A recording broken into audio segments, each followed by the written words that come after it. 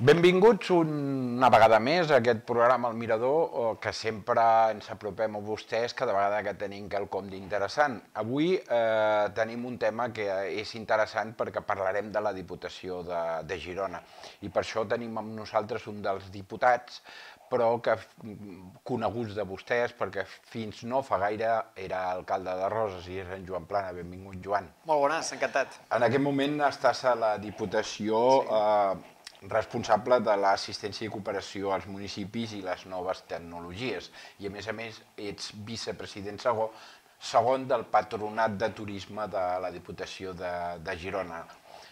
De moment aquesta feina com va? Doncs bé, no, molt bé, molt bé. És una experiència nova eh, on estic aprenent moltíssim, on tinc ocasió de treballar amb equip de professionals doncs, eh, realment magnífics i per tant, bueno, doncs, escolta, és una experiència vital, com dic, eh, enriquidora.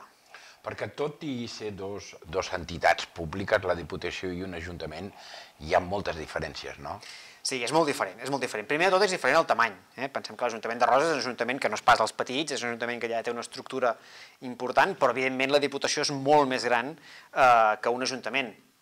I després hi ha un altre fet eh, molt significatiu en el treball del dia a dia, que és sobretot, que, que de fet és el que més trobo faltar, no? que és el, el contacte amb la gent tant per allò bo com per allò dolent, no? Allò que fas des de l'Ajuntament, doncs eh, de seguida és percebut per tu mateix i per la gent, no? llavors desperta doncs, a vegades eh, reconeixement, a vegades també crítica i per tant té aquesta doble vessant, eh, però que això fa que sigui especialment estimulant, no? fa que, diguem-ne, que tingui ànima, que tingui caliu tota la feina que fas des d'un ajuntament.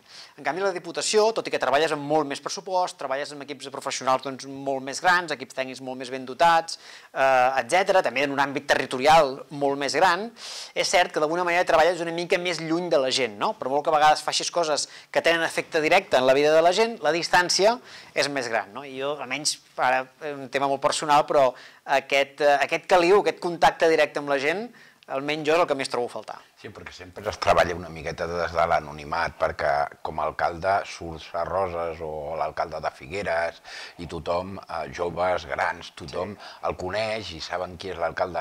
En canvi, jo no veig cap diputat que la gent el reconegui pel carrer, no? No, perquè és cert això, que és una institució que, que sobretot treballa eh, amb una certa distància de la gent, treballa més amb institucions que no pas directament amb, amb el ciutadà, tot i que, insisteixo, les polítiques que fa tenen una repercussió directa en la gent, eh? però generalment és a través de, del seu ajuntament i per tant, bueno, doncs aquest augment de la distància és cert que per una banda doncs, et permet eh, treballar doncs, amb una certa tranquil·litat, et permet treballar d'alguna manera amb una major capacitat de planificació, et, et permet treballar amb menys pressió tant, tant pel polític com per tots els equips tècnics, etc. però almenys per mi això no compensa aquesta falta de, en fi, una mica d'ànima, una mica de, de caliu, una mica de proximitat amb la gent. Sí, perquè sempre es diu que l'administració més propera és l'Ajuntament. Després tenim el Consell Comarcal i, i després la Diputació i ja passem a la Generalitat. Però exactament entre Generalitat i Ajuntament està eh, els Consells i la Diputació. La Diputació, quina és la seva feina exactament? Mira, aquí el, el president, el Miquel Nogués, té una expressió per definir-ho que jo crec que és molt encertada i s'entén ràpid, eh? que és que la, la Diputació és l'Ajuntament dels ajuntaments, d'acord? Eh, això té molt a veure... O sigui, els seus clients no és la gent, sinó els ajuntaments, no? Per no, exacte, sí, sí, és a dir, la major part de les polítiques que fa la Diputació ho fa en col·laboració o a través dels ajuntaments, d'acord? Per què? Les diputacions tenen un origen històric, per una banda, venen del segle XIX, van néixer el trienni liberal durant els anys 20 del segle XIX i tenen tota una trajectòria històrica que ens hi podríem estar molta estona, d'acord? Però més recentment, sobretot, tenen una raó de ser pel model municipal que tenim en aquest país. Jo crec que si ho comparem amb el model municipal que tenen en altres països, s'entén fàcilment la necessitat de que hi hagi aquestes institucions. Catalunya té uns 8 milions d'habitants i uns 30.000 quilòmetres quadrats. Si ho comparem amb Dinamarca, per exemple, Dinamarca té uns 40.000 quilòmetres quadrats i uns 6 milions d'habitants, més o menys. Per tant, són països que des del punt de vista del nombre de població, des del punt de vista de l'extensió territorial, Dinamarca, evidentment, excloent Groenlàndia, eh? perquè si no se'ns en va molt el càlcul. Sí. Doncs um, són països més o menys que podrien arribar a ser similars en molts aspectes, no? Però, en canvi, si el que mirem és municipis, és a dir, ajuntaments, Dinamarca en té 98 i Catalunya en té 940 i escaig. 211 a la Diputació de Girona, déu nhi 221 a Girona. Sí, 221. I, I en el conjunt de Catalunya, 940 i escaig. Per tant, per cada municipi, per cada ajuntament que hi ha a Dinamarca, n'hi ha 10 a Catalunya. Això per què? És perquè el model municipal català sempre s'ha basat molt en la idea de que dins de les possibilitats, cada poble, cada assentament, per entendre'ns, tingui el seu ajuntament. És cert que hi ha un ajuntament que agafa més d'un poble, però si ens fixem hi ha molts i molts pobles molt petits que tenen ajuntament. No? Bueno, això és perquè generalment aquí s'ha apostat sempre perquè hi hagi la màxima proximitat possible entre l'Ajuntament i el ciutadà. No? Això té molts avantatges, però també té inconvenients. Quins inconvenients té? Doncs que aquells serveis més bàsics que han de prestar els ajuntaments, que són serveis que municipis del tamany de Roses, per exemple, a vegades gairebé no els hi donem valor, com són la gestió del cementiri, eh, l'enllumenat públic, eh, la jardineria, no? que són coses, sí que donem valor, però em refereixo, vull dir que ja gairebé les donem per descomptat. Clar, en ajuntaments petits, que tenen 200 habitants, que tenen 150 habitants, que tenen 300 habitants, fins i tot els que tenen menys de 1.000 habitants, tots aquests serveis els genera una càrrega administrativa i un cost econòmic que pel nombre d'habitants que tenen és complicadíssim que puguin prestar. Un d'ells és la policia, per bueno, exemple. Un d'ells és la policia, evidentment, però la policia ja, ja diguem-ne, no, no, la Diputació aquest tema no el tracta tan directament, ja, ja. sinó que els pobles que no tenen policia local, sobretot tiren de Mossos d'Esquadra, que és de la Generalitat. Però, per exemple, hi ha temes com l'empadronament, com la gestió dels recursos humans del propi Ajuntament. Tot això és una tasca administrativa que per un Ajuntament que té un o dos administratius, realment, en fi, és, és, és molt gran sense anar més lluny, una de les grans queixes dels ajuntaments petits ara mateix és la tramitació administrativa de les cremes vegetals, no? per exemple. Bueno, llavors, com que tenim molts ajuntaments petits que tenen molta dificultat per prestar tots aquests serveis bàsics, necessitem institucions grans, supramunicipals, que tinguin la capacitat d'ajudar econòmicament aquests ajuntaments petits per poder sufragar aquestes despeses i també, en alguns casos, que tinguin la capacitat d'assessorar o de prestar directament alguns serveis. Per posar un exemple molt, molt clar, el tema que dèiem dels cementiris, doncs nosaltres, per una banda, subvencionem arreglar els cementiris de diferents municipis i, per altra banda, el que fem és també donar-los les eines informàtiques i tota la formació per tal de poder gestionar de manera àgil i ràpida tota la tramitació administrativa del que suposa gestionar un cementiri. Perquè la Diputació de fet, no recapta impostos ni, ni taxes, reparteix una miqueta els impostos que recapta, en aquest cas, la Generalitat, o, o els traspassos que li venen de l'Estat, no? Bé, de fet, el que fa la Diputació, per exemple, en alguns casos, és recaptar els impostos dels ajuntaments. És a dir, per exemple, els ajuntaments petits, una altra de les dificultats que tenen és recaptar els impostos, no? I sí. no tan petits, perquè a Roses, per exemple, sí. part de la nostra recaptació també la fa Xaloc, Xaloc que és un òrgan sí. de, de la Diputació. Uh, però hi ha ajuntaments que fem integralment tota la, tota la recaptació. Però això és el que deia, són una tasca administrativa que sembla molt fàcil, però quan has estat dins l'Ajuntament veus que no en té res de fàcil, que genera moltíssima feina. No? Llavors la Diputació també pot prestar aquest servei. Però com bé dius, sobretot el que fa la Diputació és d'alguna manera ajudar els ajuntaments. És a dir, repartir una miqueta totes Exacte. aquelles uh, transferències de l'Estat o de la Generalitat. Exacte. No? El seu pressupost és elevat, no? És elevat i a més a més sobretot no només repartim sinó que també acompanyem en la prestació de serveis. De fet aquest és un model cap al qual cada vegada més la Diputació tendeix, no només a repartir diners, que també n'ha de repartir, evidentment, sinó cap a acompanyar tots aquests ajuntaments en la correcta prestació d'aquests serveis. Sí, perquè a l'hora de, de repartir, eh, la Diputació té, eh, té diferents fórmules de repartir. Una és ajudar a fer projectes, però hi ha uns que, són, que van directament als ajuntaments, que són el Fons de Cooperació Local, que sembla que ara s'ha canviat o heu canviat el criteri, no? Bé, els fons de cooperació local justament són els que gestionem des de la meva àrea, és un fons que aquest any l'hem augmentat, hem arribat fins als 27 milions d'euros. De, de 20 estava Estàvem a 20, el, que hem fet, és a dir, l'any passat vam fer un fons ordinari de 20 milions d'euros i al llarg de l'any vam fer un fons extraordinari, un segon fons més petit, de que queden 6 milions i escaig? Llavors ara el que hem fet és consolidar el fons extraordinari, de manera que ara ja els ajuntaments d'entrada poden comptar amb el conjunt d'aquests diners, amb els 27 milions. Llavors, aquests 27 milions es reparteixen entre els ajuntaments amb diferents criteris. Un dels criteris que pesa més és, per exemple, el de població, tant el nombre de població mm, diguem-ne, absoluta que té el municipi, com també el nombre de, de població proporcional al conjunt de la província, però l'altre criteri que ja es va introduir en el fons extraordinari, que ara també hem consolidat aquest ordinari, és el criteri social. D'acord? És a dir, per exemple, hem de tenir en compte dades com ara la taxa d'atur, com ara la renda familiar disponible de cada, de cada municipi, com per exemple doncs, el nivell de pobresa, el, el tema, per exemple, de... de el, ara no em surt el nom, eh, en fi, diferents temes socioeducatius, etc. D'acord? I per tant, amb el conjunt d'aquests criteris es fa una adjudicació a cada municipi i per tant cada ajuntament ara ja sap aquestes alçades perquè vam aprovar el, el ple de desembre, doncs ara ja sap els recursos dels quals disposarà aquest any. però bàsicament el primer criteri és el número poblacional, que pel que fa, diguéssim, a l'Alt Empordà, el primer seria Figueres i el segon pràcticament Roses, no? el segon municipi que més, uh -huh. més diners rep de la ah. Diputació no? a la sí, comarca. Sí Sí, sí, clar. I després el que eh, s'ajuda molt és els petits municipis, perquè aquí a la comarca en tenim 68 municipis, molts d'ells no arriben ni a 500 habitants. Això que li comentava abans de la comparativa del model municipal català amb altres països, no fa gaire vaig estar en un viatge amb la, amb la Diputació a Suècia, on vam visitar les regions d'Estocolm i de Västerbotten. A Västerbotten, que està just tocant eh, a la Lapònia sueca, allà, mm, tot i que és una regió molt despoblada, els municipis més petits tenen 3.000 habitants. El que passa que, clar, tenen 3.000 habitants de població, cosa que fa que tinguin una extensió territorial més gran que tot l'Alt Empordà. Perquè han d'agafar moltíssims pobles per arribar a tenir un ajuntament de 3.000 habitants, però ells consideren que un ajuntament més petit doncs, té moltes dificultats després eh, per poder funcionar. En canvi... Que vindria a ser una cosa com el Consell Comarcal, no? perquè Bé... té diferents, diferents poblacions però un sol ajuntament, no? Més o menys, el que passa és que el Consell Comarcal també treballa amb ajuntaments, sí. d'acord? Sobretot el Consell Comarcal el que fa molt sovint és d'alguna manera mancomunar mm. serveis entre ajuntaments, perquè el Consell Comarcal, més que recursos propis, recursos propis com a tal en té molt pocs, té bàsicament diners finalistes que estan pensats això, per, per mancomunar el servei de, de diferents ajuntaments, ajuntaments petits. petits sí. sí. Però clar, és a dir, Suècia té molts ajuntaments que són més grans que l'Alt Empordà i en canvi nosaltres, dins de l'Alt Empordà, només de l'Alt Empordà, ja són 68 municipis. Mm. Per tant, és un bon exemple d'aquesta necessitat de que hi hagi institucions supramunicipals fortes que puguin donar servei a tots aquests municipis.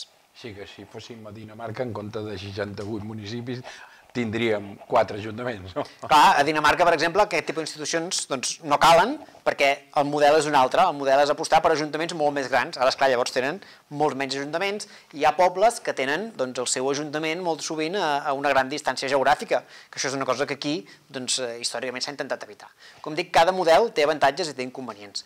I dins de Catalunya mateix, molt sovint hi ha hagut el debat sobre la continuïtat o no de les diputacions. S'han plantejat altres models d'administració, com en el seu dia les vegueries, etc jo crec que és perfectament viable eh, reformular el sistema institucional català i apostar per una, una altra institució que substitueixi les diputacions si algun dia es decideix fer.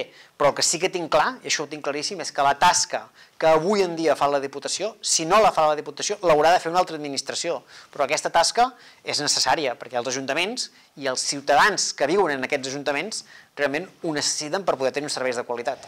Vostè, ara parlàvem de cooperació local, que és la seva responsabilitat, assistència a la cooperació local, però també hi ha una altra tasca que és les noves tecnologies. Sí. Com estan aquests petits ajuntaments per agafar les tecnologies? Bé, doncs aquí és un altre àmbit en el qual necessiten molt l'acompanyament de, la, de la Diputació. Pensem que aquí, per exemple, hi ha un altre àmbit de l'administració que pel ciutadà és molt desconegut, com és natural, però que tothom que ha estat en un ajuntament o que ha treballat en una administració coneix perfectament, que és la gestió d'expedients. Per exemple, gestionar els expedients d'una administració és una tasca molt més complexa del que sembla i, i, i emmagatzemar-los i que diguem estigui correctament ordenat perquè puguis treballar-hi de manera àgil. Després, un altre àmbit molt important és la relació telemàtica amb la ciutadania, és a dir, cada vegada més, tot i que es vol mantenir l'atenció presencial perquè qui necessiti el, el calor humà de l'administració també el trobi, doncs cada vegada hi ha més gent que vol relacionar-se amb l'administració de manera telemàtica i des de casa i no haver de desplaçar-se fins a, fins a, a l'Ajuntament perquè una administrativa doncs, et tramiti el que sigui. Això en els ajuntaments petits és evident doncs, que suposa doncs, tot un repte i per tant aquí la Diputació té tot un equip tècnic que en gran part doncs, s'encarrega doncs, de fer tota l'assistència, tot l'acompanyament, tot el procés conjuntament perquè tots aquests ajuntaments puguin anar fent aquest trànsit, que molts ja l'estan fent i molts estan diguem, molt avançats, doncs els facin de manera correcta i el facin sobretot de la manera el màxim d'agradable possible tant pels propis treballadors d'aquests ajuntaments com també pels ciutadans d'aquests municipis. Per això als pobles petits deu costar més, no? perquè aquí a Roses encara són 20.000 habitants, molts no ens coneixem, si entrem a, a fer els tràmits digitalment ho faries, però en un poble de 300 o 400 habitants començar a dir-los que ho han de fer digitalment, no, no, jo vull anar a parlar amb l'alcalde. Però és que Costa això, més, no? però és que aquesta figura, diguem-ne, el ciutadà que vol parlar directament amb algú, sigui amb l'alcalde o sigui amb un administratiu, això no té per què desaparèixer, de fet jo crec que no ha de desaparèixer. A Roses crec que en aquest sentit van fer una bona tasca i que justament el que van fer va ser intentar treure feina d'atenció presencial de tota aquella gent que preferia fer els tràmits des de casa, per tant, amb això alliberes hores de feina dels funcionaris i tot aquest temps, tots aquests recursos, els pots destinar a optimitzar l'atenció de tota aquesta gent que sí que vol ser atesa per una persona. I jo crec que els pobles, al final, el procés és exactament el mateix. És a dir, tota aquella gent que vulgui ser atesa presencialment ho ha de poder ser, i al revés, tota aquella gent que li sigui molt més còmode tramitar una llicència d'obres, una ocupació de via pública o un gual de manera telemàtica, des de casa, doncs pugui fer-ho. Aquí la pandèmia va marcar un abans i un després, no? I tant, no, no, això sens dubte, és a dir, moltíssimes coses eh, que teníem la previsió de fer-ho durant 10 anys, amb la pandèmia ho vam fer en 10 dies. I per això, necessitat. clar, i això, bueno, és veritat que va tenir un primer moment de tirar-nos a la piscina i que va generar alguns problemes, no? Però bé, també és veritat que per altra banda doncs, ens va ajudar a accelerar eh, alguns processos. I jo crec que ara, és veritat que en alguns àmbits territorials encara estem en fase de implantar tot el que és l'administració electrònica, però en molts altres àmbits ara ja estem en fase, més que d'implantar, perquè ja està implantat, estem en fase de perfilar, de millorar, eh? d'acabar d'alguna manera de perfeccionar tot aquest sistema perquè sigui el màxim d'eficient possible per, per funcionaris i per ciutadans. Eh, vostè també és vicepresident segon del Patronat de Turisme eh, de la Diputació de Girona. Aquí sí que és una feina que, diguéssim, la fa la Diputació per si, no pels ajuntaments, sinó la, la genera des de a veure, sempre tenint en compte el, els ajuntaments, evidentment, però vull dir que la, la, la realitza el patronat, no?, directament. Veure, el, el patronat, d'entrada, crec que és important explicar què és. El patronat és una entitat público-privada, és a dir, és un consorci mm. eh, en el qual la part majoritària la té la Diputació, la part molt majoritària, per tant l'aportació econòmica és majoritàriament també de la Diputació de Girona, però del qual en formen part moltíssimes empreses i entitats empresarials.